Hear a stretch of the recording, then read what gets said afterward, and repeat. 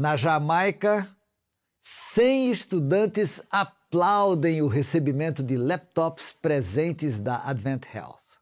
Os estudantes de enfermagem do último ano da Universidade do Caribe do Norte, na Jamaica, irromperam em aplausos ao receberem 110 laptops pessoais e oxímetros. 110 computadores portáteis para estudantes de enfermagem do terceiro ano da Universidade do Caribe do Norte.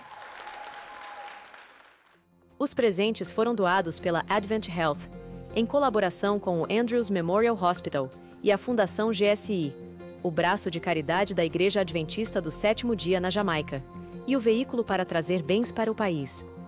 A doação de equipamentos tem como objetivo fortalecer na educação de futuros enfermeiros diante dos desafios enfrentados pela profissão.